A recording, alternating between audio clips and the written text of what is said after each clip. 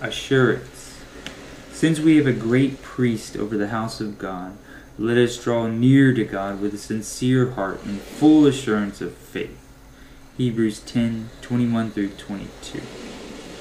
As far as the east is from the west, so far does he remove our transgressions from us. Psalm 103 12. The Lord is my light and my salvation. Whom shall I fear? The Lord is the stronghold of my life. Of whom shall I be afraid? Psalm 27 1.